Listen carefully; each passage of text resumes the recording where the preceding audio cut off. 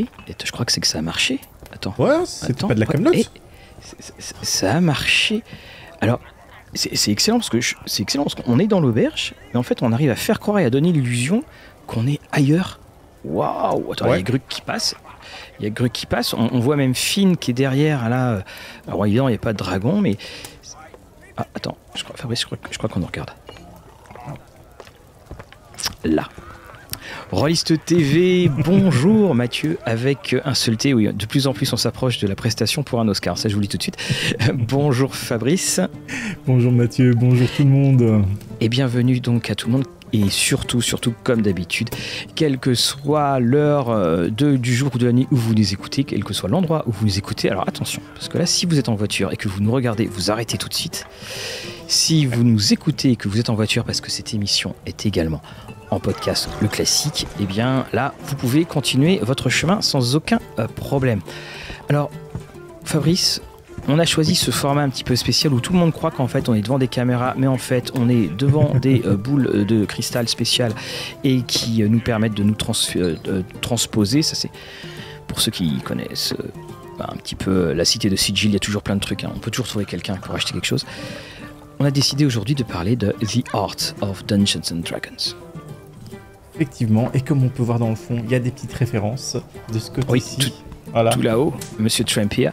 Euh, et on s'était dit bah, que c'était pas forcément. Euh, ça serait plus facile de parler de The Art en le montrant. Alors il y avait deux choix, soit on, soit on, dessinait, soit on montrait. Donc euh, on a décidé de, de montrer. On va faire un voyage dans ce qui a créé la, la, puissance et la marque visuelle de Donjons et Dragons. Et alors, ce qui, nous avons décidé, on, a fait des sélections. Et chacun de notre côté. Ça. Voilà, chacun de notre côté.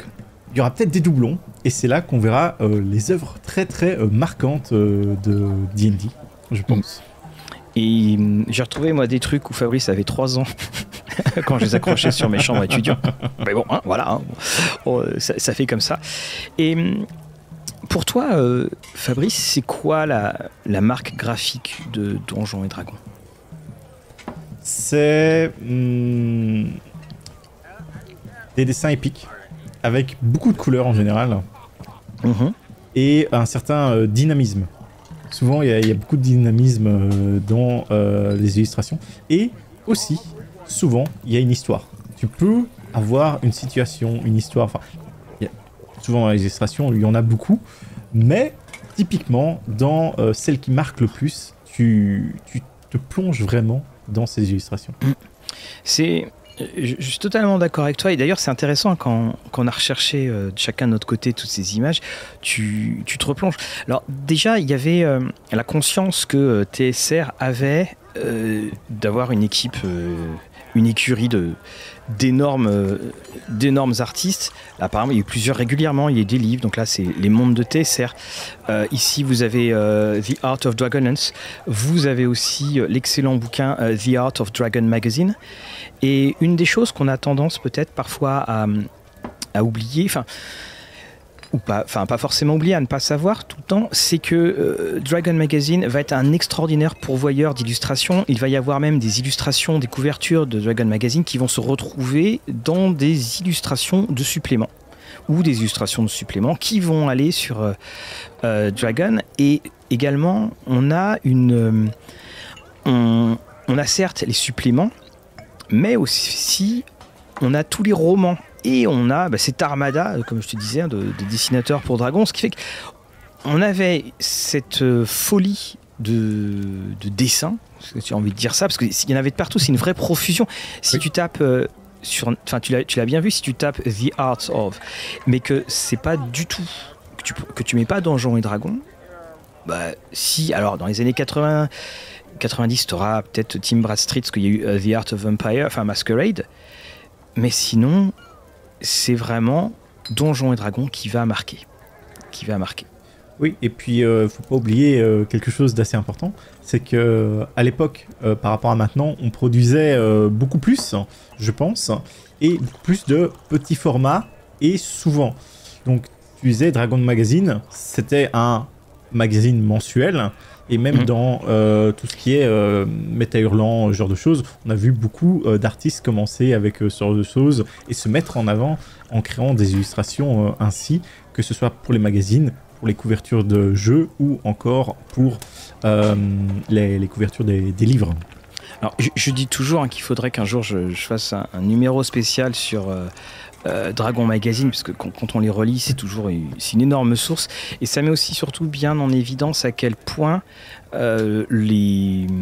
Enfin, c'est pas un supplément qui va te donner euh, la température ambiance d'une époque. Ce sera le magazine, parce que le magazine, tu as le courrier des lecteurs, parce que tu as, les réponses, enfin, tu, as beaucoup de choses. Tu as eu de très très grands dessinateurs qui sont allés dans Dragon Magazine. Il y a eu Charles Vest, notamment, qui a fait une, une couverture. Et le, quand tu te replonges effectivement dans, donjon tel que c'était. Et, ces images, tu te dis vraiment, c'est. Euh, il y a, t'as l'impression de toujours plus découvrir. Et puis surtout, c'est des fois, tu as des origines d'images, des bouts d'images, des choses qui, reviennent. Et je te propose qu'on commence par le, euh, par le, tout premier. Alors, tu commences alors, euh, je vais euh, commencer. Donc, euh, de mon côté, ça va être certainement les plus emblématiques que je vais pouvoir présenter. Donc, voici Mathieu, je te propose cette première illustration. Je pense qu'elle a fait parler beaucoup et fait couler beaucoup d'encre, je pense, surtout aux États-Unis, dans certains milieux. Eh bien, je vais faire comme dans les cartes Pokémon et je vais dire j'ai. Magie du montage, on va ah. dire ça, et, gros clin d'œil. Et alors, ce qui est, ce qui est intéressant aussi, c'est qu'il y a une. Euh, il y a aussi le, dos, parce que c'est euh, enfin, la, quatrième de couverture du, voilà, du, du, livre. Et ce, cette euh, statue qui, dont on veut retirer l'œil. Et donc là, vous avez vu le dessin derrière de, de Todd Lockwood qui est en fond, qui, qui, qui, le reprend ça, ça marque euh, énormément. Alors c'est vrai que c'est des actions, c'est pas terrible comme Qu'est-ce qu'on voit? On, voit quelqu'un qui vole, euh, on voit très clairement. Un sacrifice?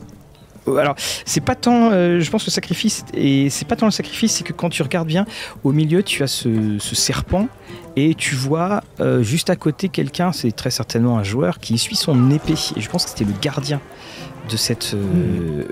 c'était le gardien. Et ça marque, oui, ça marque tout de suite parce que là, on voit quand même tout le, défi que tu peux, que tu peux avoir. Et surtout, ah, notamment avec cette, statue qui te regarde toi en tant que, spectateur. Et on a des, personnages au premier rang bah, qui, qui, te regardent pas, qui, font leur affaire.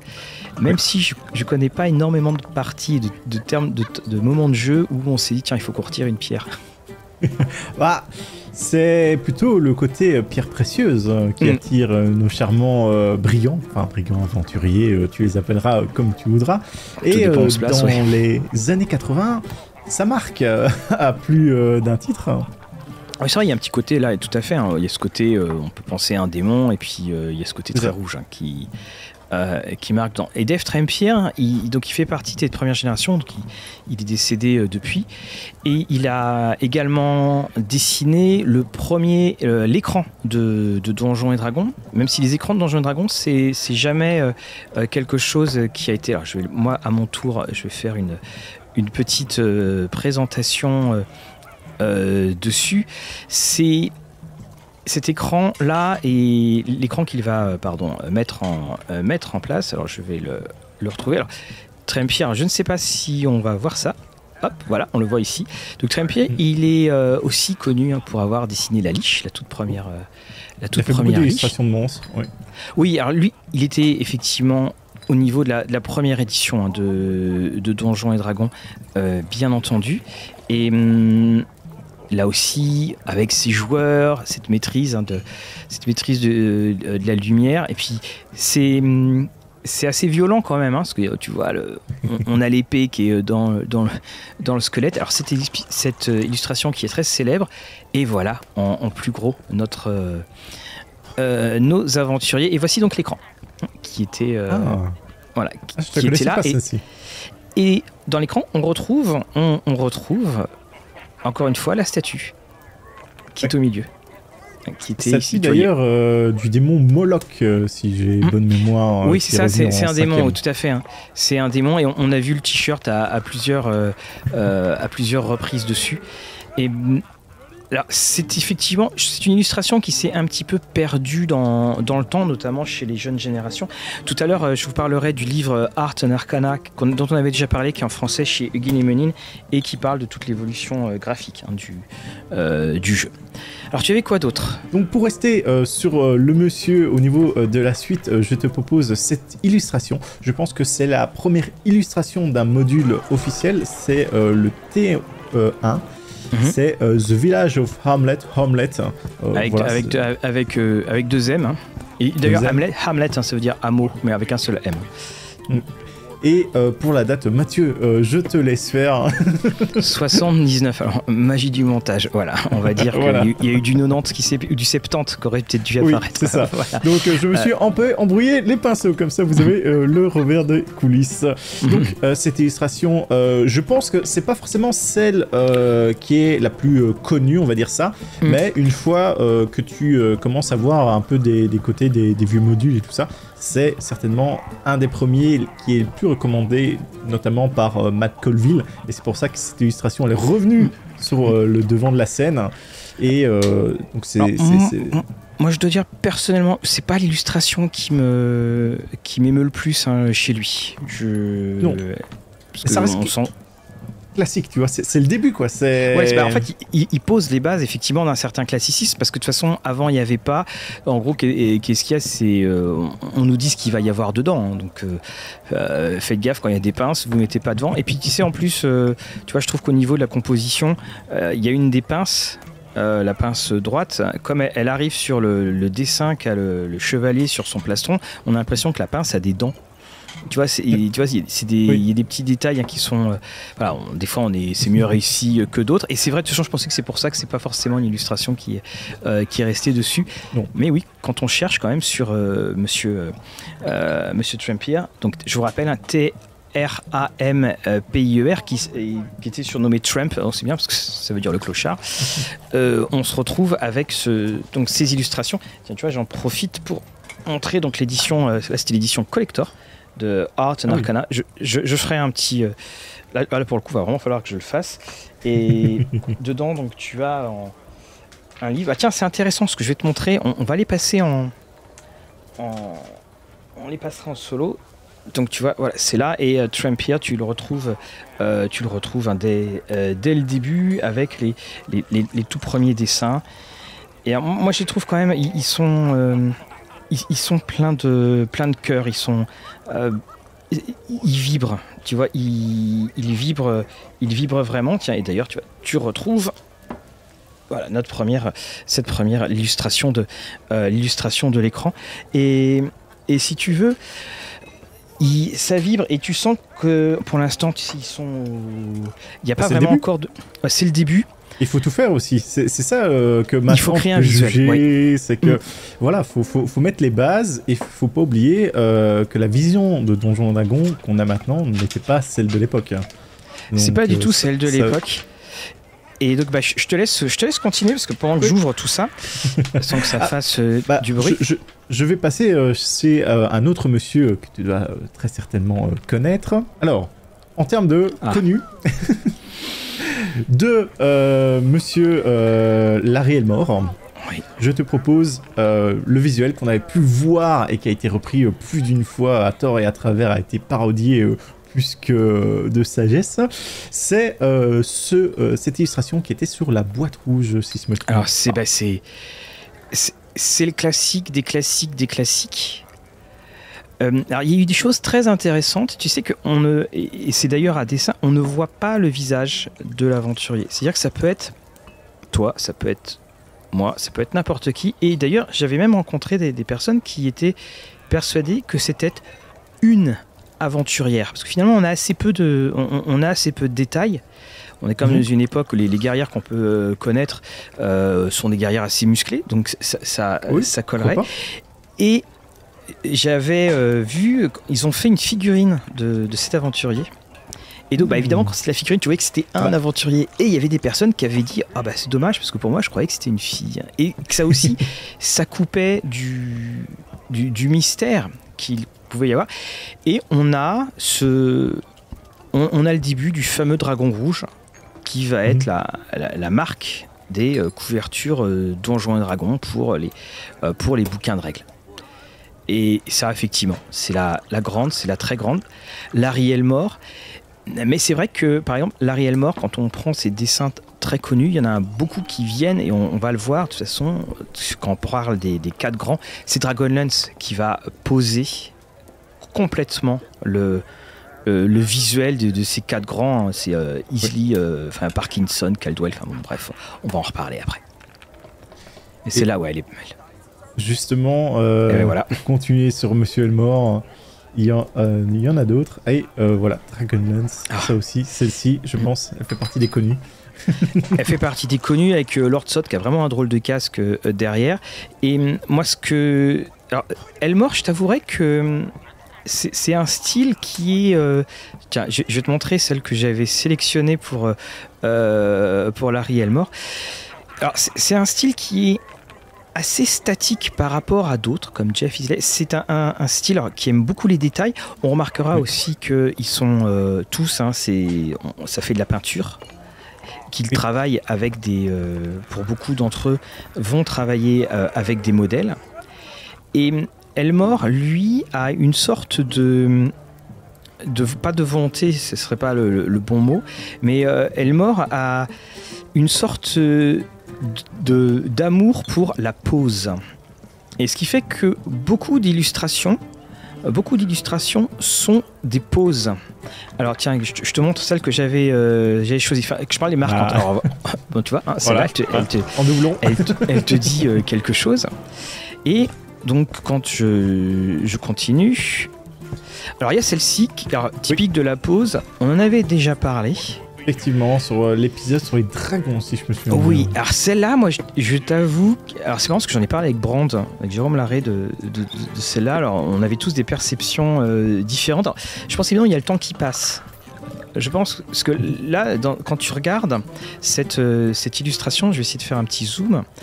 Donc euh, tu, regardes, les, aventuriers ont... Le combat a eu lieu.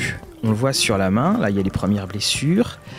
Et puis euh, là, il y a la, guerrière qui... Oui, une guerrière, on va dire ça. Elle aussi, ses, vêtements sont déchirés, elle reprend son souffle. De l'autre côté, on a le guerrier avec un marteau de guerre un petit peu ridicule, je trouve, mais bon, après. on a oh, le mage. C'est peut-être une question de perspective. oui, voilà. Et puis on, a l'elfe. On, vous rappelle hein, que c'est. Euh, alors, je, ne sais même pas d'ailleurs quand elle est sortie la première fois, parce que ça aussi c'est un truc, c'est qu'on on a parfois du, mal à, voir les traces des, premières sorties. Oui. Et et puis surtout, ce qu'il faut regarder, on a ce, mage qui, bah, justement, il casse le, le, quatrième mur et il nous regarde. Et le guerrier aussi nous regarde. Et là, on a vraiment l'impression qu'ils sont là avec ce dragon pendu. Et on voit il y a eu les flèches on, voit les traces. Et euh, le, guerrier là qui, le tient par une, euh, par une corne on a l'impression qu'ils sont en train de, de poser pour toi. Qu'ils sont en train de te montrer regarde la belle prise. Et puis quand quand on regarde euh, un petit peu plus dans, dans le, la continuité de la, de la queue du, du dragon on a ce coffre enfin coffre on a cette espèce de caisse assez ridicule quand même c'est son trésor.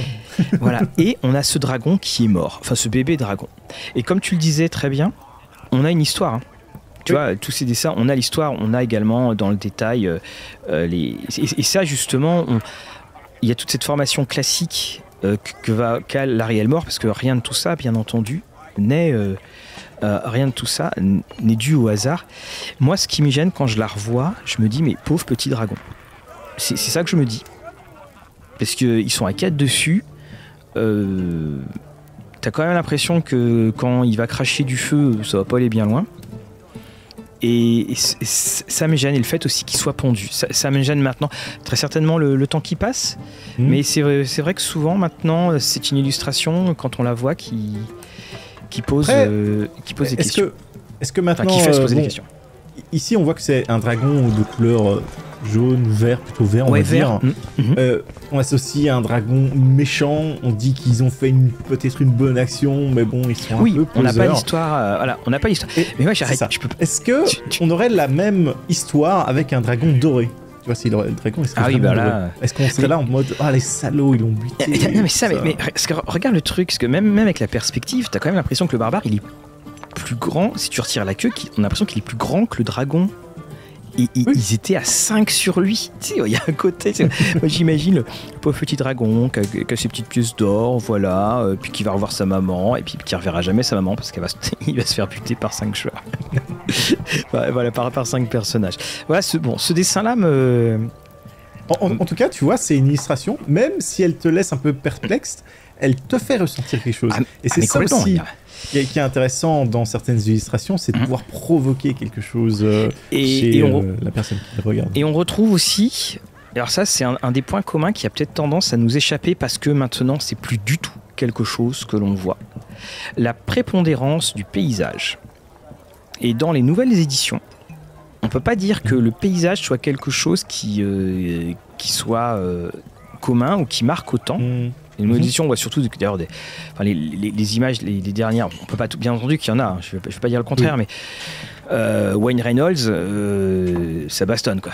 Voilà. Et on va plus dans le mouvement que dans la pose. Et on va mhm. voir dans les certaines autres vidéos, de certaines euh, couvertures que j'ai pu sélectionner, que ce paysage, s'il est, il est là, c'est pas par hasard. Oui. C'est pas bah, par hasard. De toute façon, euh, globalement, maintenant, euh, quand tu vois comment sont travaillées les illustrations euh, sur D&D, tu as beaucoup d'illustrations qu'on appelle de remplissage, ou hmm. pour vraiment illustrer avec quoi tu fais référence, et moins une illustration ici, avec une scène, un décor, et ce genre de choses, tu, en as toujours, hein, tu en as toujours bien entendu, mais elles ne seront en généralement plus en pleine page, ou représenté en, couverture, on, aura tendance à aller chercher autre chose euh, justement. Et toutes ces illustrations avec du paysage, donc vraiment pour te fournir tout un milieu, tout un environnement, ont quand même tendance à disparaître. Alors je crois savoir d'où elle vient.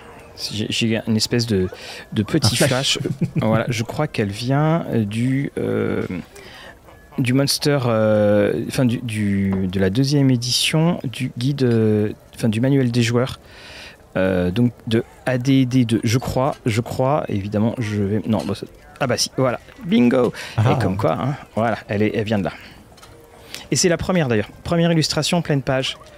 Ce qui, est, ce qui est intéressant, et d'ailleurs ce qui remet encore plus en, en, lumière ce que, ce que je disais sur euh, le fait que les personnages te, euh, que les personnages te regardent. Donc ça, c'est, ça fait partie de ces, de, de ces points-là.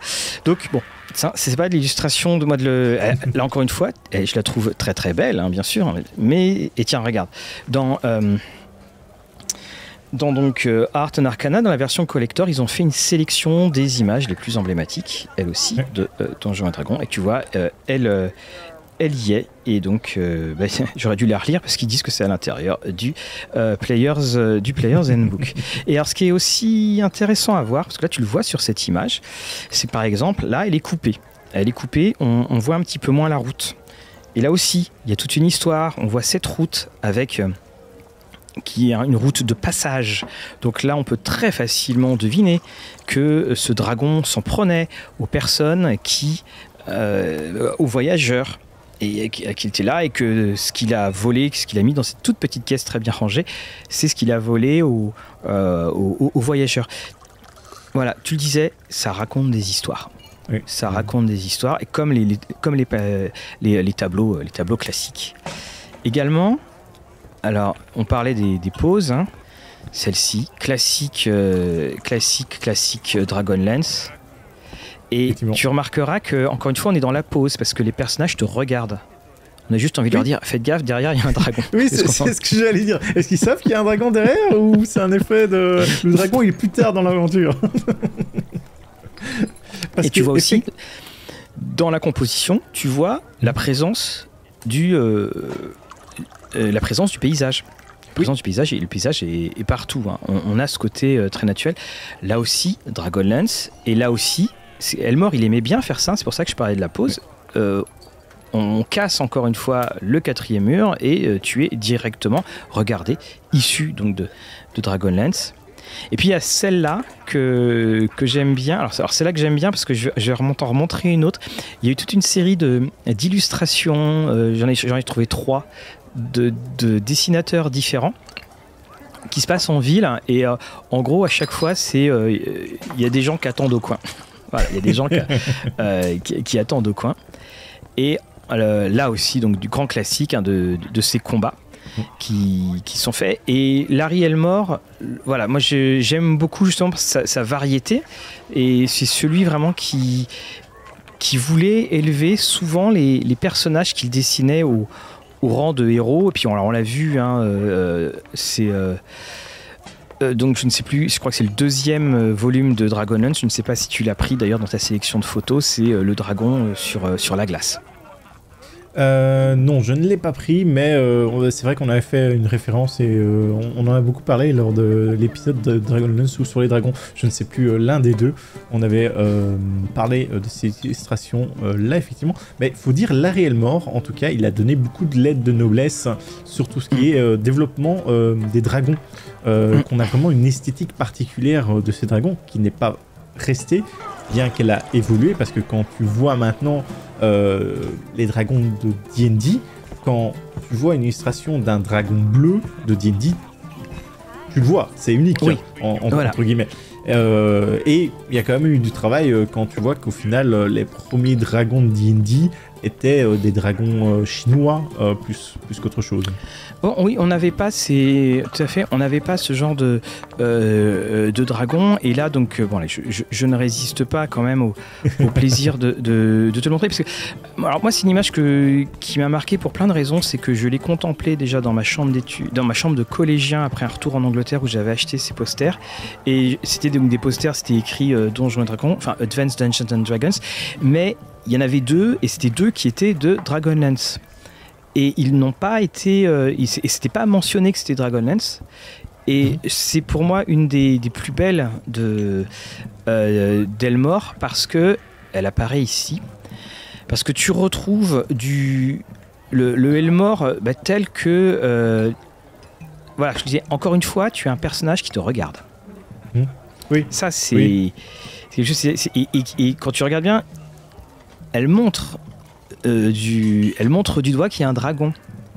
Et ça, cette invitation, et tu as la même technique d'ailleurs dans les illustrations des livres dont vous êtes le héros, c'est le défi, c'est-à-dire c'est l'invitation à entrer dans l'image, à entrer dans l'aventure. Et puis, tu le disais toi-même, il y a plein de petits détails.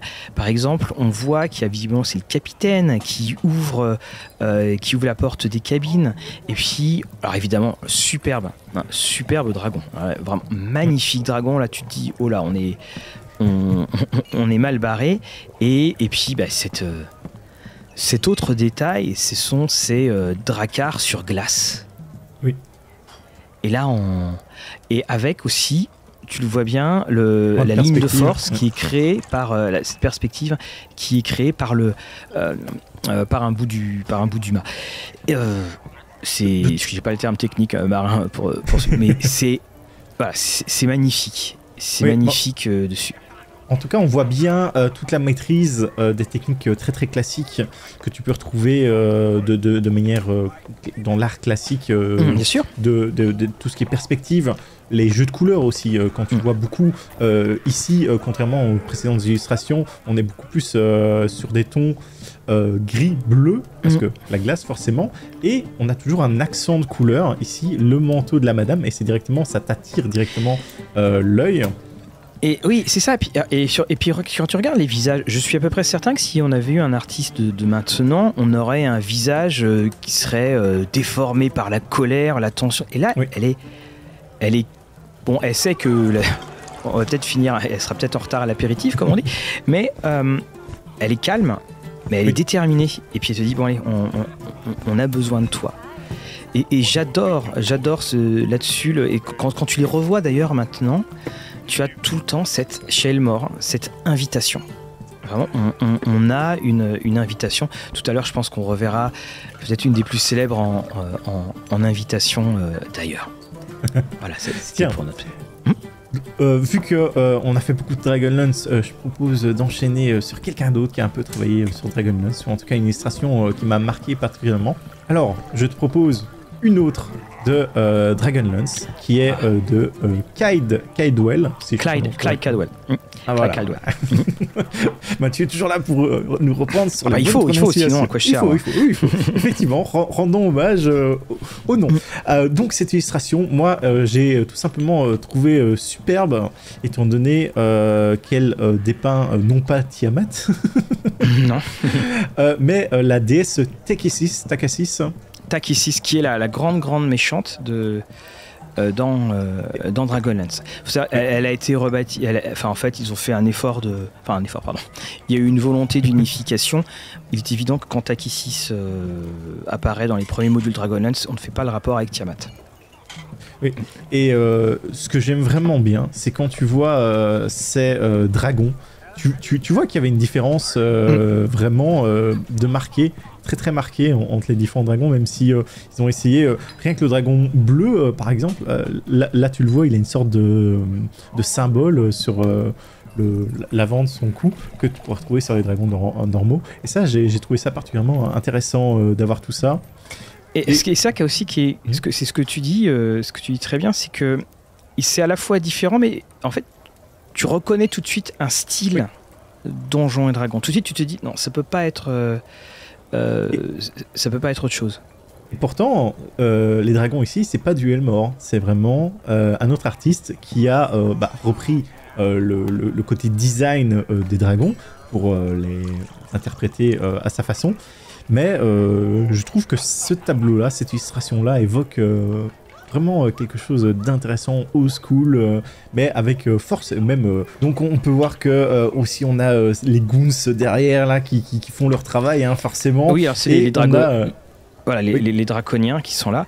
Et puis, alors, on a, on a une des, un des points de, un, des points de, de Caldwell, c'est que Caldwell est quelqu'un qui est connu pour à faire les dessins qui étaient peut-être les plus euh, sexy de, euh, de Donjons et Dragons. Et d'ailleurs, j'en veux pour preuve. Alors, parce que j'ai tout mon bazar, on le verra au niveau, de la, au niveau du montage, hein, vous, le verrez, euh, vous le verrez bien. par exemple, il a fait cette couverture ici que l'on voit de cette demoiselle assez avantageuse sur, euh, sur donc euh, Dragon. C'est quelqu'un qui lui aussi travaillait avec des modèles et notamment une il avait deux, je crois deux modèles euh, qu'il préférait et une qui était Pom Pom Girl chez les Dolphins de Miami qui lui disait ah. est-ce que ça vous plairait et tous ces travaux de toute façon euh, quand je dis ces travaux hein, c'est euh, du euh, c'est avec un, C et pas un S il y a beaucoup de travail de photographique. C'est-à-dire on, prenait vraiment des modèles qui posaient mhm. et on, allait dedans. Et Caldwell oui c'est quelqu'un qui a ça. Et tu vois tu vois tu l'as choisi c'est encore Dragonlance. C'est encore Dragonlance.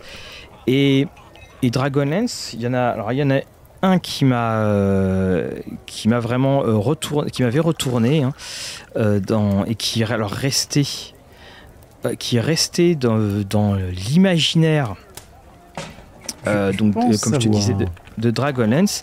C'est alors c'est pas ça pourrait être un titre des, des studios Ghibli. Mhm. et c'est donc là c'est un dessin donc du, du très regretté Keith Parkinson qui lui est dans, ils sont des, quatre hein, principaux. Euh, les, Keith Parkinson, lui, euh, nous a quitté d'une, euh, des, suites d'une leucémie. Et c'est lui qui va dessiner. Alors, tu penses savoir si je dis que c'est comme un titre des, studios Ghibli, tu, tu dirais quoi par exemple? Ah, Parce que ça permettra aussi. J'avais juste pensé à euh, l'image euh, où il y a euh, un, une personne décédée et tout cela. ah oui, ok, oui, tout à fait. alors je crois que c'était Larry Elmore, celle, hmm. celle dont tu parlais. Et ah, mais oui, oui, je vois. Et là, donc, le château volant. Y a, voilà. Est-ce qu'il y a un autre jeu que Donjons et Dragons où tu peux avoir un château volant? Avec, en plus, les cavaliers devant. Et là, tu as cette espèce d'appel à l'aventure et tu regardes bien, parce que ça fait, ça fait comme un espèce de triptyque. Tu regardes bien à droite et à gauche, tu vois les dragons qui volent, tu vois ce, ciel menaçant, euh, il court et tu as là, là, as mais, mais quel appel à l'aventure Quel appel à l'aventure que, que d'avoir ça parce que là tu as tout le défi là. Tu dis bon il est là mon donjon. Il est là-haut mais il faut pas tomber quoi. Faut avoir euh, ces sorts de euh, de, de, chute de plume et ça c'est un dessin de, Keith Parkinson qui a été euh, qui a été repris. Alors beaucoup un de ces il y a beaucoup de, de ces dessinateurs qui après vont aller dans d'autres horizons. Et, un des points, en attendant justement le, prochain là dont tu vas nous, euh, dont tu vas nous parler, euh, il faut savoir que c'est aux alentours de 83. Euh, TSR va décider de d'avoir des dessinateurs réguliers sur lesquels on peut compter, parce que visiblement il y avait eu des tensions et il y avait aussi des personnes, il y avait eu des ados, il y avait, enfin, il y avait des personnes qui n'avaient peut-être pas forcément la maturité pour gérer tout ça. Et, et c'est là où ils décident, bon, ok, on va faire notre, euh, notre, euh, avoir notre propre écurie. Et donc les Jeff Easley, Clyde Caldwell, Keith Parkinson, Larry Elmore sont les quatre qui vont faire exploser avec tous leurs styles différents parfois ils sont difficiles à, à, à séparer l'un de l'autre parce qu'ils ont ils utilisent les mêmes couleurs et un, le soin du détail, le soin de l'histoire de l'image. Et, et bah, c'est comme ça que tu te retrouves avec euh, un, un jeu qui va te marquer. Qui, qui, va te marquer et que tu as envie de et que tu as envie d'y jouer. Alors là, tiens, tiens j'en ouvre une au hasard. Bah tiens, regarde. Tu vois, là, toujours tiré de euh, Arcana. Voilà. Mmh. Bah, tu, tu vois, on ah. retrouve notre, euh, notre, notre Trampier. Je vais en faire un de, de temps en temps. Voilà, je vais les ranger après au, au, au, fur et à mesure. Et tu vois, je retombe dans, dans, le, dans, dans l'obscurité. Alors là, ah, je vois la ouais. suivante. Ah. Mathieu, voilà la suivante. Donc, mmh. j'ai dit, je, je, tapais soit vraiment dans ceux les plus connus ou ceux qui m'ont un peu marqué euh, de mon côté. Ah, tu as raison. Donc, euh, je pense que Mathieu sera d'accord pour dire que celle-ci, elle est ah. plus que connue, plus qu'iconique. Hein. Euh, elle toujours, est, oui, bien entendu. Euh, de Monsieur Cadwell. Tout à fait, Caldwell. Alors on leur, on leur, on leur paierait avec la. Tous signés. Ça aussi, c'est quelque chose qui est tous signé. Et là, on avait la, la signature de, de Caldwell comme, euh, comme cela. Elle est fantastique cette illustration. Alors je, là, je pense à, à, nos amis qui nous écoutent en euh, qui nous écoutent en podcast. Euh, ah, là, c'est un peu dur hein, cet épisode-ci. voilà, donc euh, c'est évidemment la photo, enfin le dessin du, du, du module de, de, Ravenloft. Le premier, entendu. Le, voilà, du, du, premier. Et, et celui-là, il est aussi très très intéressant dans le choix qui est fait. Oui. Alors, même si d'ailleurs on peut regarder que euh, côté, euh, côté perspective, on, on, remarque que la, la muraille, euh, bon, peut-être que oui. Caldwell était s'était couché. Euh, voilà, on n'a pas une euh, des plus rigoureuses. En revanche, il y a une des très très grandes forces, c'est le fait que Strad regarde au loin et que nous, en tant que joueurs, en tant que spectateurs, on, il ne nous voit pas il nous ignore totalement. Oui. Et, et, tu vois, c'est pas le défi où très souvent tu as les personnages qui regardaient euh, vers toi. Là, où tu as le grand méchant qui va te hurler dessus, c'est comme la liche. Non, là, le grand méchant, il est là, mais il t'ignore. Et, surtout, et, ça, euh... ça montre aussi qu'il est au-dessus. Et puis il a ce point qui est dressé, euh, ce point fermé sur, sur, sa, sur son manteau. Et aussi, euh, chose importante, c'est que il est presque dans une inaction, mais une action quand même de toiser et de se préparer et de juger éventuellement oui. euh, ce qu'il a devant lui. Et euh, contrairement aux, aux, grands méchants qu'on voit souvent, la destruction, tout ça, ou en tout cas qui, qui, sont prêts à attaquer, on partage souvent ce genre d'illustration, tu te retrouves avec une illustration certes plus calme, mais tout aussi épique dans le sens où, vu qu'on est sur de l'horreur gothique, ça prend tout son sens de développer quelque chose comme ça, et surtout quand tu vois le contraste que peut y avoir euh, l'environnement, le personnage. Et, et, et, là, on touche, on touche, et un salut à mes étudiants s'ils si, si, si m'écoutent, on touche, et tu vois, tu parles, tu dis qu'il y a ce calme, mais il y a l'éclair. Et l'éclair, oui. c'est ce qu'on appelle en, alors le terme n'a pas vraiment de traduction en français, enfin si j'en avais vu un, c'est ce qu'on appelle the pathetic fallacy, la fallacie pathétique. C'est-à-dire que c'est le reflet de ton esprit, enfin la, la, nature qui reflète ton esprit. L'exemple typique, c'est il pleut à un enterrement ou il fait beau à un mariage. Et là, qu'est-ce qu'on a? On devine qu'il y a la tempête. Il y a l'éclair, il y a ces chauves-souris qui sont en mouvement, qui sont le seul mouvement. Il y a les nuages au fond. Et on fait justement cet écho. On, voit cet écho qui est là. Et puis, on voit la brume. Non, non, il y a, il y a il y a tout, il y a cet aspect gothique, il y a aussi euh, ces vignes qui. Enfin, c'est ce lierre qui monte. Alors qu'en plus, alors ça c'est très drôle parce que quand tu vois le château, tu vois. Euh, et on sait qu'on est, en, on est en hauteur. Mmh. Euh, on peut aussi se poser la question, parce qu'on ne sait pas trop si c'est une herse qu'il y a derrière et qu'il est sur un balcon. Bon, je ne sais pas trop, peut-être une sortie de secours. Mais non, ça c'est une. Bien entendu, ça c'est. C'est l'âme de toute la gamme Ravenloft, complètement. Oui. Et pour celle-ci, je pense que même si tu joues pas à Donjons et Dragons, t'as dû la voir quelque part à un moment ou à un autre. Voilà, tout à fait, à un moment ou à un autre. Tu sais, là, je pense qu'il faudrait que je la trouve pour le, le samedi. faudrait que je l'utilise. je sais pas si c'est pourquoi le. Ça y est, le jeu, le jeu que j'ai, pledgé il y a 4 ans vient d'arriver. eh, tiens, je crois que j'en ai une. enfin. Alors Mathieu, euh, je te propose, euh, j'en ai, j'ai encore euh, un illustrateur, mais je le garde de mhm. côté étant donné que je vais en présenter plusieurs mhm. de, de, ce personne, de cette personne et qu'on va voir que tout est un peu lié. Donc je te propose maintenant de passer de ton côté celle que tu as, as peut-être en doublon avec moi, celle que tu veux présenter. Je, vais, euh, euh, là, je vais te présenter celle-là, qui, est connue, hein, illustration du Fine Folio, euh, par, du Fine Folio, pardon, donc de, par Emmanuel. Emmanuel, hein, c'est son titre. Alors, il faudrait que je me renseigne hein, sur ce, parce que là, je, vous passe les, les tirés à part qu'il y avait dans l'édition bonus de, donc de Art and Arcana. Alors, bah là, vous la reconnaissez, cette illustration de, de, de Todd Blackwood, celle qu'on a utilisée en donc au son. Et là, ben, celle-là, tiens, elle te dit quelque chose On en a parlé. Oui, bah oui, euh, bah, vu que je, fais les miniatures, je sais bien, euh, il s'agit euh, de Grey. Tout à fait, c'est ça. Oui, il, il s'agit de Greyhawk. voilà. Et, alors, ce qui est intéressant, c'est qu'elle est. Alors, de, là, alors là, je te montre, il y a Greyhawk. là, c'est The Keep on the Borderlands. Donc, euh, donc c'est un module classique. Euh. voilà, donc là 1980. Keith Parkinson. Alors lui, là c'était sur euh, Lankmar si je ne me trompe pas. Euh, tout à fait. Euh, Swords, of, euh, Swords of Deceit, donc pour, pour Lankmar. Et puis là, on, a des nouveaux. Alors, ce qui était intéressant, c'est que j'ai quand même voulu me renseigner un petit peu sur, sur, sur les niveaux.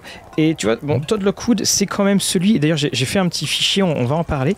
Todd Lockwood, c'est quand même celui qui, je trouve, est l'héritier de ces quatre autres.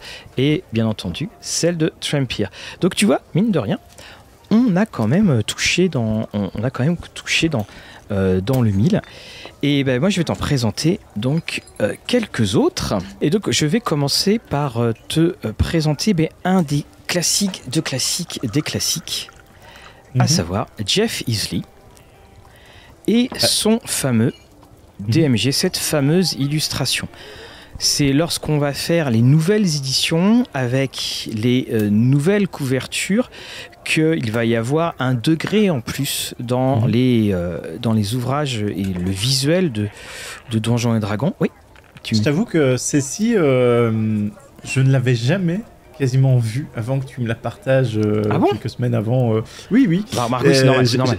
J'étais là, je me fais, bon, euh, d'où ça vient? C'est quelle édition celle-ci? Ça me paraissait étrange. Celle-là, elle, est. Euh... Après, elle, est, bien, hein, mais. elle est très, très bien. Alors, beaucoup de personnes disaient, enfin, quand je dis beaucoup, c'est que j'avais régulièrement rencontré des gens qui disaient que l'illustration de. Enfin, le titre c'était, euh, il reprenait Dante, il disait, toi qui entres ici, euh, abandonne toute espérance. En fait, non. Mhm. C'est même l'inverse. L'illustration, c'est do come in, c'est-à-dire euh, mais entrer donc. Oui. Et quand tu, alors déjà, tu as euh, ce. Alors ce qui est, ce qui est intéressant, il y, a deux points moi que je trouve très intéressant. Là, bon, on est d'accord qu'il fait peur, mais qui s'adresse. Oui, Et on pourra dire qu'il s'adresse pas à toi, mais il s'adresse aux joueurs. Parce hmm. que euh, pourquoi toi tu aurais peur vu que c'est le manuel euh, vu que c'est le manuel pour le maître de jeu? Après, je, pense que c'est peut-être le hum, Dungeon Master vétéran. C'est-à-dire qu'il t'invite, mais tu vois qu'il est fatigué de ses joueurs. Tu vois qu'il a vécu des choses avec ses joueurs. tu vois qu'il est marqué par, l'expérience. voilà, il, en a mais marre. Il t'invite, il, ouvre la porte de l'imaginaire, la, porte du jeu. c'est bien qu'il soit tout le temps. Alors quand on regarde, tu vois, il a une clé. Puis surtout quand tu regardes un peu plus près, bah, tu te rends compte que c'est un esprit. On ne voit pas ses jambes, c'est de la fumée qui, qui y a à la place. Et tu vois, il y a des, des bouquins dans. Je, vais te retrouver un, autre. Il y a des bouquins qui sont des couvertures de, de manuels où tu te dis, bah normalement elles sont, elles sont connues. Il y a plein de détails et tu as des détails que, qui peut-être vont, euh, euh, vont t'échapper. Et alors Jeff Isley, lui, il va faire quasiment toutes les couvertures euh, de Donjons et Dragons, enfin de AD&D et mhm. de tous les manuels. C'est-à-dire et on va le retrouver aussi sur AD&D 2. Et pour te dire, alors que je, que je retourne, euh, pour te dire justement le, niveau de, les niveaux points de détail, je vais t'en montrer une, c'est celle-là. Alors là, là, ça le montre peut-être bien, mais je me suis rendu compte finalement assez tard qu'il y avait un combattant. J'avoue que c'est pas la première chose que j'ai vue. Voilà, euh, c'est pas la première chose. C'est les gros muscles du monsieur. Voilà, et, surtout en plus, euh, effectivement, quand tu vois la ligne, tu as deux lignes de force, que tu as la lance qui est là. Et puis, tu as aussi donc l'axe qui est fait du euh, euh, l'axe qui est fait avec le, bras. Pourtant, tu as le regard, mais bah, quand tu regardes de loin, la, couleur fait que euh, c'est un brave. C'est peut-être un ranger, enfin, en tout cas c'est quelqu'un qui sait qu'il faut pas se balader en rouge dans la forêt et, qui rend et qui rend bien et surtout ce qu'on appelle la, ligne d'horizon. Et la ligne d'horizon n'est pas forcément celle à l'horizon, c'est celle où ton regard va se porter naturellement. Ton regard, il a tendance à se porter ici. Ce qui fait que tu ne le vois pas, et tu le vois d'ailleurs aussi après, tu as une autre ligne de perspective qui se fait avec les arbres. Et donc là, le point de fuite qui va se retrouver à peu près par ici, juste derrière ce. Et c'est toujours rempli de, de, détails comme ça. Alors souvent, il y a l'interférence des titres, mais c'est c'est ça que je me dis, mais des dizaines mhm. d'années après, il y, a des détails que je ne connaissais, euh, je ne connaissais toujours pas. Ici, on a une autre illustration de Jeff Easley mhm. qui, alors, il faut pas l'embêter, hein. Euh, et ah tiens, il y a Gruc qui s'arrête et qui me dit qu'il la connaît. Bon, ben d'accord. Euh, alors ça, c'était l'illustration pour City System de Waterdeep. Donc c'est le truc. Mhm. Ah, et ça, c'était aussi un point, c'est que parfois il n'y avait pas forcément de rapport dans les illustrations qu'on pouvait trouver. Et ici, bien entendu, on l'a trouvé également dans, des, euh, dans tout ce qui était euh, Dragonlance. Hein. Donc là, on a Lord Sot qui, euh, qui est présent. Et c'est aussi quelqu'un parmi les, quatre qui aimait bien le mouvement. Et ça, on, le retrouve assez, euh, on le retrouve assez régulièrement. D'ailleurs, on va le retrouver régulièrement dans le Monster, le Monster Manual 1 où tu as le dragon et les licornes, ou euh, tout simplement les couvertures du, euh, de la deuxième édition de, de, Donjons, de Donjons et Dragons. Et Isley, lui, donc a, a, marqué vraiment parce que c'est lui qui faisait les couvertures. J'aurais tendance à dire que c'est peut-être celui qui est le, enfin, qui fait partie des moins connus. Oui, je pense. parce qu'il n'a pas un style euh, particulièrement marquant. Euh, et il n'a pas forcément cherché, je pense, à, ou en tout cas avec euh, la vision que tu as maintenant, il correspond à ce que tu t'attends de quelque chose de fantastique, un style fantastique en fait. Et son style a fini par coller à ce qui se fait, on va dire, de normal. Et, donc tu, tu n'as pas ce décalage que tu peux avoir avec d'autres artistes. Alors c'est lui qui donne le là, très clairement parce que c'est lui qui a donné les couvertures. Euh, Isli, ben, on le retrouve. Hein. il est Isli, c'est un vieux de la vieille. Il, fait l'illustration déjà sur euh, et on voit d'ailleurs toute sa progression qui fait l'illustration de, de Greyhawk. Et moi, je, je, le vois toujours comme l'espèce de, vieux sage. Parce que comme tu le dis, il est dans le classique, il a posé le classique. Mais encore une fois aussi, c'est celui qui il aime beaucoup faire les deux mouvements. Et quand tu vois une couverture comme celle-là, là, on, est dans le, on, est dans le mouvement, on est dans, dans le dynamique. Et ça... tout de suite, voilà, ça, ça pose dessus. Et c'est un de, de, ceux qui fera le plus de, le plus de dessins, enfin, le plus de dessins dynamiques. Et on va arriver euh, là dans. Je sais, que, je sais que tu en as d'autres, mais on va arriver sur un, passage donc, dont je parle régulièrement et les clients de l'auberge à chaque fois quand j'en parle ils font voilà qu'est-ce qu'il va encore nous raconter ce monsieur avec ce monsieur avec un seul T c'est les, ce sont les couvertures de Dragon Magazine. Alors, je n'ai pas pu tout vous mettre. Et je dois m'excuser auparavant, il y a des, auteurs euh, dont je ne connais pas le, je ne connais pas le nom. Et ce sont, tout à l'heure je t'ai parlé du paysage. Oui. Et euh, donc là, nous avons, voilà, bah, je suis euh, très content. Donc c'est Kevin Davis, 84, 40 ans. Et là, tu vois, on voit une très très belle maîtrise de très belle maîtrise de, la lumière. On le voit bien avec euh, avec ce qui passe euh, par la canopée. Et surtout, les histoires. Qu'est-ce qu'on voit? On voit quelqu'un qui est là depuis très longtemps. Quelqu'un qui s'est battu, son épée est sortie. Quelqu'un qui a été terrassé par une flèche, vu qu'il a encore la main sur, sur la flèche qui est au cœur. Et puis, il y a cette licorne qui est là, qui ne fait pas attention à lui, parce qu'il est là depuis très longtemps. Et là, on peut se poser, toutes sortes de questions. Pourquoi est-ce qu'il était là? Est-ce qu'il défendait le territoire de la licorne? Est-ce que, au contraire, c'était quelqu'un qui voulait euh, l'attaquer? Quand on regarde la licorne, euh, L'attaquer, euh, à, moins que la licorne euh, prenne un arc et, tire dessus. Non, non, mais tu vois, il y, a ça, et voilà, c'est peut-être le peuple qui a dessus. Il y, a toujours un, y a toujours un point qui est ici. Alors, ça, c'est la qualité de la reproduction, parce que je sais pas si c'est une blessure, la licorne, ou si c'est une, ou si c'est une plante. Et on est dans. Et là, alors, celle-là, donc c'est là de Daniel Horn, c'est pour moi. Il y, en a deux ou trois, tu vas voir, que je, trouve.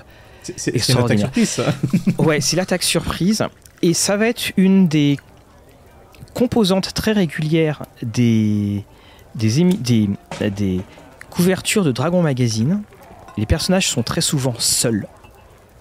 Et ils sont posés dans un contexte de paysage, de grands, grands paysages. Tu, n'as, tu as très rarement le côté, en tout cas les plus marquantes, euh, euh, tu n'auras pas le côté de je suis dans ce sombre donjon et et là il y a cet appel à l'aventure et quand tu vois la qualité, quand tu vois la, qualité des couvertures de Dragon Magazine, enfin c'est, tu, sais que éditorialement, ils voulaient que leur couverture soit exceptionnelle. Parce que, pareil, tu regardes la, tu regardes la couverture de loin, tu as très très peu d'interférences du texte.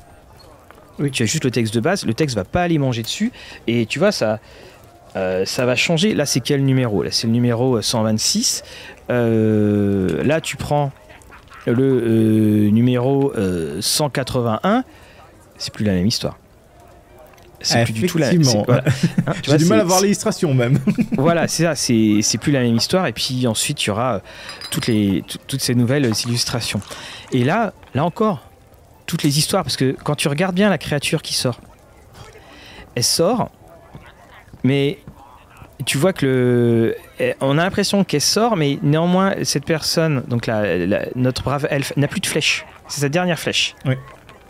Il y a trois flèches qui ont été tirées, dont une dans la tête, et tu vois qu'il y a une épée qui est encastrée dans le flanc.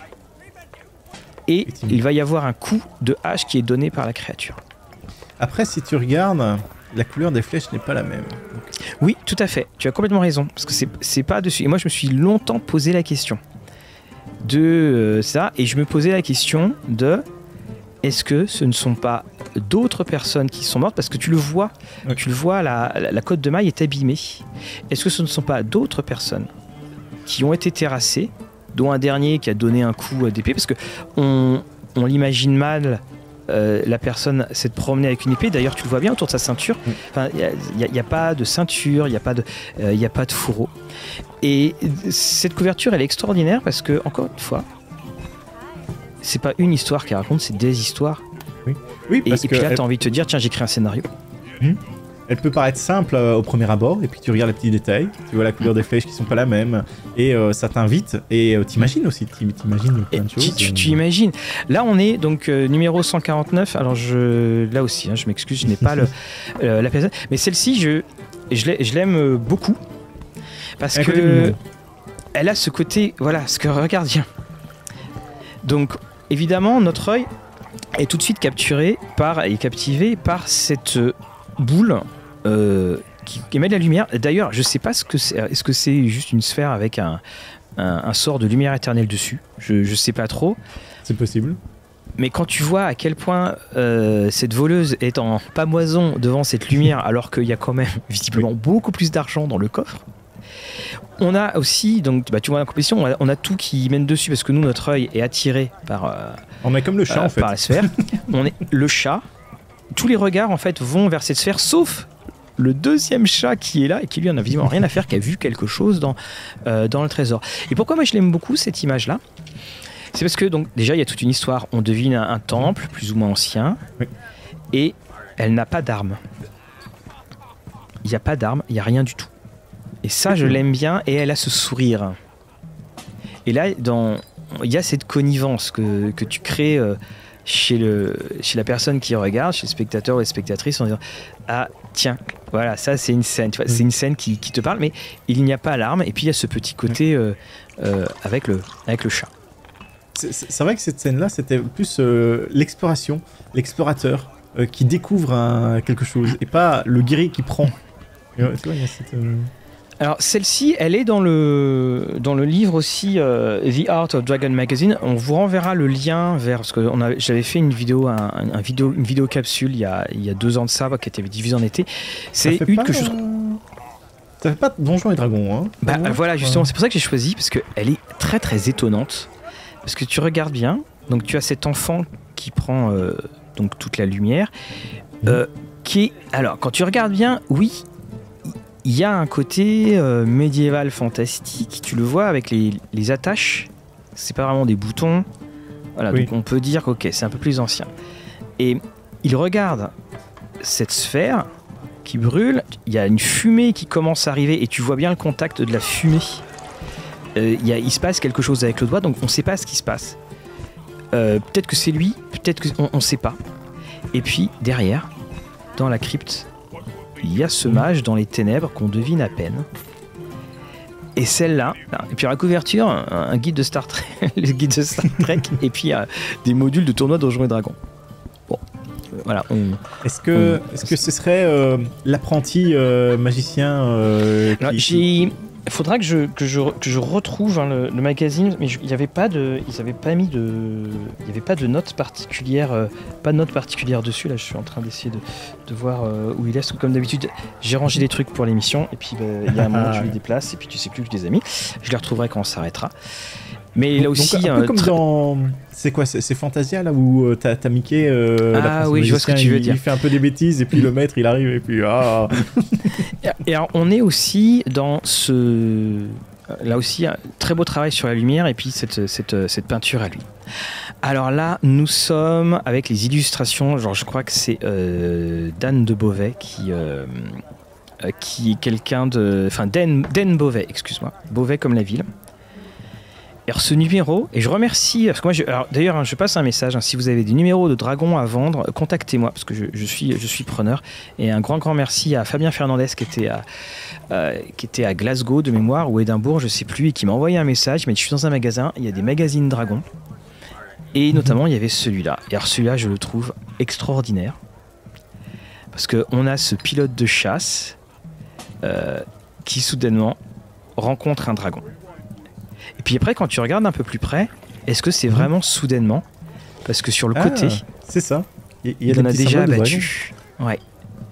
Et et surtout, ça n'a aucun rapport avec Donjons et Dragons. c'est juste un, dragon, quoi. Euh, bah, mm. est-ce que fut un temps, euh, il n'y avait pas un côté, euh, tu peux jouer en mode un peu futuriste, notre époque Alors oui, il y, a eu ça, mais c'était science-fiction. Là, on, a l'impression d'avoir un, chasseur des années 70-80.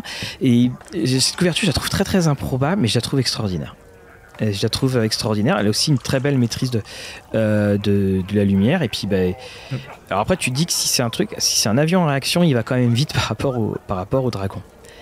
Et on a aussi eu des, des thèmes très très euh, réguliers de couverture très très étranges. Alors là aussi, hein, c'est mhm. Dan Beauvais avec des jeux d'échecs et des échiquiers.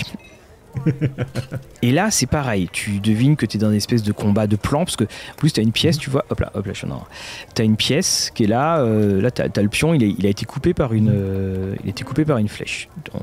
on ne sait pas trop. Encore une fois, comme je te disais, le, très très classique, euh, on met dans la nature une créature dangereuse. Et là, la créature, elle est tellement dangereuse que finalement, tu es obligé de voir que les, ils sont dans, un, dans, un, dans, un, dans leur chaloupe et puis qu'il y a deux ou trois malheureux, on sait pas trop, qui, qui sont euh, déjà à l'eau et puis quelqu'un dans la chaloupe qui tend la main pour, euh, pour aller vers eux. Et ça aussi, c'est des, des, couvertures qui, qui, prennent leur temps par leurs détails. Et ça, c'est très agréable. Alors celle-là, Larry est mort. Et là, tu parlais des histoires. Mhm. Ah ben on l'a. On a ce géant qui vient de s'en aller. Il nous regarde. ouais, euh, alors, non, en fait, on pense qu'il nous regarde, mais il regarde par là. Il regarde ce qu'il a fait. Euh, alors, c'est un espèce de géant avec des oreilles pointues. Donc, je. Là, je, je t'avoue que je sais pas trop. Donc, le combat s'est plutôt mal passé parce que. On... Alors, l'épée est là, mais tu remarques que l'épée n'a pas une seule trace de sang. Il a un marteau de guerre. Alors, tu as plutôt l'impression que c'est quand même le marteau chez le médecin pour le genou. Mais que se passe-t-il? Eh bien, la le personnage féminin est en train, je pense, de le ressusciter. Oui, oui tout à fait. Et, justement, le marteau, je pense que c'est à la madame et pas au monsieur, étant donné que c'est une arme de cléric. Peut-être. Et alors là, Fabrice, bravo. Ah oui, effectivement, tu as totalement raison. Et qu'elle s'est jetée, à déposer, enfin, tu sais, on, se ouais, sur, euh, mais tu, vois les histoires? C'est génial. Ah, c'est génial. Hein. Et on, alors on voit qu'il est mort parce que le. Enfin, on devine qu'il est mort parce qu'il il est très très pâle. Mhm. Et là, elle. Euh, alors j'ai compris qu'en fait, c'est un crucifix qu'elle a en fait. Tu vois, c'est un. ça pourrait être n'importe quel symbole vivant, on ne sait pas exactement. Oui, mais, moi, ça fait penser à une croix quand même. Ouais, ça fait penser à, ça fait penser à une croix. Mais donc, alors superbe, et, et, on le voit là aussi dans, dans la composition, tu vois le, la nature sauvage. Tu vois vraiment la, nature sauvage. Et à chaque fois, on, place ces personnes dans la, dans la nature. Alors là, un très très très euh, classique. Alors je, je, crois que c'est de Parkinson celui-là. Euh, vous nous euh, non, Jeff Isley. Au moment où je le dis, je dis maintenant c'est Isley, je suis bête. Là, on nous regarde. Là aussi, on a ce mouvement. Mmh. J'en parlais tout à l'heure. Et tu as le mouvement, et puis bah, tu vois à quel point ça va il va y avoir, va y avoir de l'action. Il faut que, que tu regardes tes copains.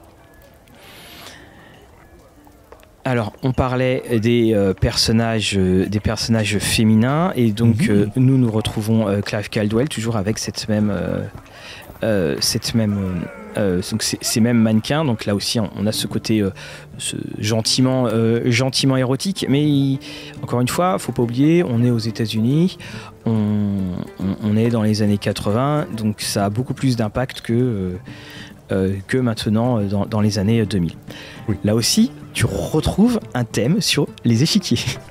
Oui, bah en même temps, euh, le, le, truc des échecs, le thème des échecs, je pense que euh, ça permet de, dire oui, ils sont intelligents. Euh, mm. Et puis si tu rajoutes différents niveaux, c'est ah ils sont sur un autre plan de. Oui, ce que tu. Mais quand tu regardes bien. Genre de choses quand tu regardes bien, tu vois, il y a les pions blancs et les pions noirs. Mm. Et là, tu vois, il y, y, a cette main qui est là. Y a, là également, il y a un autre pion qui, euh, là cette fois qui saigne. Et quand tu regardes la première dont, dont je te parlais, tu vois une main qui euh, ici, tu vois, on, a de nouveau cette main. On devine que ça sera, enfin, on peut deviner que ce sera les mêmes. Et hum, alors peut-être qu'il y avait un rapport avec la science-fiction. Parce que tu vois, il y mhm. avait 4 euh, super articles de science-fiction, c'est ce qui est mis. Mais il y avait quand même 29 nouveaux monstres hein, dedans. Là, on a le voilà, donc très très classique. On reprend, on a la nature, un monstre, et on a deux personnes. C'est jamais des armées. Hein. Alors là, superbe, euh, superbe dessin. Et on va retrouver donc euh, ce dessin, comme je disais, bah, ça va être un supplément. C'est le supplément de, Dragonlance. Évidemment, son nom m'échappe, mais c'est la boîte Dragonlance qui parle d'un autre continent, euh, qui, ne parle pas justement de, de Lancelot. Là, on a du très classique, hein, Caldwell qui est là, numéro 58. Donc le, les montes. Et là aussi, tu remarqueras que on ne nous regarde pas, on ne fait pas partie de la scène. On, est juste là en train de, euh, en train d'observer. Et là, l'Ariel mort. Et là, tu vois, on, voit les échos. Paysage omniprésent. Et là, on a, tu sais, le, celle avec le dragon que je te montrais sur la glace. On a quasiment la même chose. C'est-à-dire qu'on est avec les joueurs, là, sauf qu'il n'y a personne qui nous regarde. Et puis, on a ce, euh, ce chevalier. Et bon, qui a pas l'air sympa. Et un grand cheval. Un très grand cheval. Ou, alors, euh, on est des bandits. Parce que là. Euh, on est des bandits. Oui, je me suis souvent posé la question, et c'est vrai qu'effectivement, voilà, à l'époque, dans les races qu'on pouvait jouer, il n'y avait pas ce, gobelin qui avait un casque avec une seule corde. Mais voilà, en tout cas, on, est dedans. Alors peut-être qu'on est le bandit, effectivement. Ici, euh, donc là, ça aussi, ça qui était bien. On retrouve euh, Den Beauvais. Alors Den Beauvais, on l'a surtout vu hein, dans, les, dans les couvertures de, de Dragon et il avait tellement marqué que tu vois, il expliquait comment il avait, comment il faisait pour, euh, pour les différents dragons. Et là, il disait, à la base, c'est de peinture à huile sur, euh, sur toile. J'étais pas content, alors je l'ai réillustré avec de, des pinceaux et, de l'acrylique. Avec, avec, des pinceaux, avec des, ah, des, des crayons. Alors là, celle-là, elle est assez étonnante parce que tu jurerais quand même que c'est euh, Conan le barbare. Hein. Exactement, c'est ce que j'allais dire. Il y a un petit air de Conan là-dedans. Avec euh, une arme que je trouve euh, très modeste hein, au, niveau de, au, niveau de la taille. Waouh. Et alors, ça, c'est une des, pour ah, moi une des. Celle-ci, elle est connue. celle-là, elle est connue et d'ailleurs, on va la remontrer sur Parkinson. Celle-là, elle est, elle est connue et elle est magnifique. Elle est magnifique parce qu'il n'y a pas de combat. Parce que là, t'es, plongé dans, t'es plongé dans le monde. Là, c'est ce qu'on appelle vraiment une couverture. Euh, euh, donc, quand, les gens te regardent, tu es dans ce qu'on appelle plutôt le, miroir, mais là, on est, on est vraiment dans le fenêtre, c'est-à-dire qu'on on est dans le monde et on a tous les possibles. C'est qui? C'est qui? Qu'est-ce qu'ils font? Qu'est-ce qu'ils cherchent? Visiblement, ils appartiennent à une armée. Voilà, c'est quand tu regardes euh, au niveau des titres, hein, tu as le Worldliness, donc qui est les, les contrées mm. sauvages, tout ça, et je pense que ça, ça convient bien. Et, et c'est ça que, que, j'aime énormément, c'est que, alors déjà, tu vois le, détail. Euh, détail peinture, hein, c'est Parkinson. Hein. Euh, le, détail au niveau, au niveau des écailles et bien sûr ce respect de Dragon Magazine, c'est-à-dire que euh, t'as pas d'interférence du texte, hein, t'as pas en gros dessus. Oui, j'aurais pu le mettre sur, autre part, gâcher la composition, tout ça. Ici, un très classique, Elmore. Alors même si là, là ce qui est mhm. intéressant, c'est que la notion du quatrième mur qui est cassé, ce n'est pas la, sorcière qui te regarde, mais c'est l'épouvantail qui te regarde. Mhm. Et de nouveau, tu vois omniprésence du, paysage. le paysage, ça, fait, ça, fait, les, ça fait les deux tiers. Petit côté Halloween, hein, je pense que ça devait être un numéro euh, spécial. Oui, de toute façon, bah, c'est écrit. Hein. Euh, magie d'Halloween et rêve d'octobre. Tu vois, il y avait un peu de poésie aussi hein, dans, ça a changé après. Donc euh, là aussi, donc là on, a notre euh, aventurière très classique, un petit peu sexy, Clive Caldwell. De toute façon, c'est, mhm. il est facilement reconnaissable. Là, tu vois, c'est une petite sélection de toutes les couvertures que euh, Dan Beauvais a pu faire. Et tu vois, donc il y en a une, deux, il y en a trois hein, sur quatre sur les échecs. Alors après, il avait fait pour Gigax Magazine, mais il y en a, il y en a quatre, pardon, cinq où il y a des échecs. Et c'est là que tu vois aussi euh, qu'ils ont osé beaucoup de choses pour les illustrations dans, hmm. Dragon. Ils ont testé et peut-être euh, voir si une illustration en particulier euh, permet de, susciter l'intérêt des joueurs et qu'ils font on veut en savoir plus. Mais qu'ils vont développer. pour beaucoup, hein, là qu'il avait bossé pour le, White Wolf Magazine et donc She c'était un, comics hein, de de Bill Tucci de mémoire. et puis pour les, pour les pour les magazines euh, d'ordinateur. Et Inquest, Inquest euh, c'était le magazine des, des, cartes à jouer. Magazine sur les cartes qui était Wizard Magazine qui l'avait fait. Donc là, voilà, regarde. Ouais. Celle-là, celle-là, t'as envie de la voir en fond d'écran. C'est vrai qu'elle me plaît bien et ça correspond bien aux températures euh, qu'on a maintenant. Mais mhm. on va parler de température, bien que j'aimerais aborder la suite, mais je pense qu'on nous fait signe, Mathieu. Tu vois oui, on va pas, euh, on, va pas abuser des, des bonnes choses. Surtout, bah, enfin, si, on va en abuser des bonnes choses parce que, eh bien, on, vous fait un petit trailer pour la semaine prochaine. Voilà, voilà. Voilà. J'ai envie de dire. Et là, vous allez avoir chaud. Alors, comme on dit classiquement, un grand merci de nous avoir suivis pour cette première partie. On espère pour tous ceux qui nous ont écoutés en podcast que c'est pas trop difficile de, que ça va être un petit peu frustrant, je pense. Et bah, Fabrice, on se dit à la semaine euh, prochaine. Et puis, euh, je n'ai euh, que deux choses à ajouter. Tout cela n'est que du jeu et que vos parties soient belles. À la semaine prochaine.